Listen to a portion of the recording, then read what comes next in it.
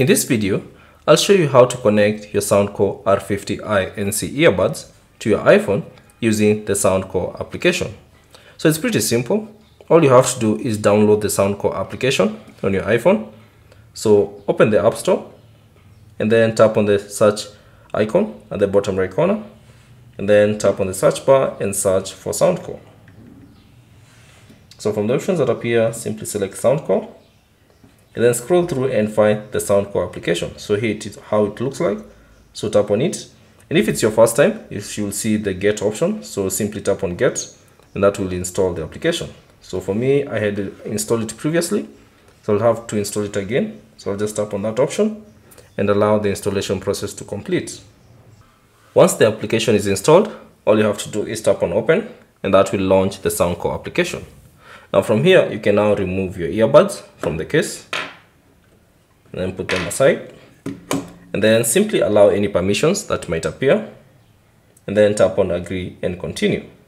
Now if you have a Soundcore account, you can simply type in your email and your password and log in or you can skip this option. And then from here you should see allow Soundcore to find Bluetooth devices. Simply tap on allow and then from here select add device. Now before you can do that, ensure that your Soundcore R50i NC earbuds are in pairing mode. Now to put them into pairing mode, all you have to do is press and hold the Anker logo for about 3 seconds on both earbuds and that should put them into pairing mode. Now once you place them into pairing mode, simply select add device and then now it will start scanning for any available device. Now in case the Soundcore R50i earbuds have not been discovered, you can simply go to settings and add them through the Bluetooth settings or you can simply set them up manually. So you can select setup manually and then find your earbuds.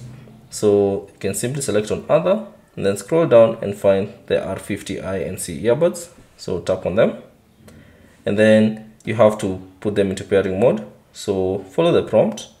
But in case you, you haven't done that, simply do them, put them into pairing mode and then once they're in pairing mode, it should automatically appear. So let's try that. So let's put them into pairing mode again. So press and hold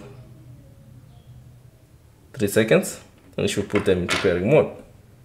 So it should automatically detect it, but since it's not detecting it, all I have to do is simply select go to settings and this will take you to the Bluetooth settings. So go to settings, select Bluetooth.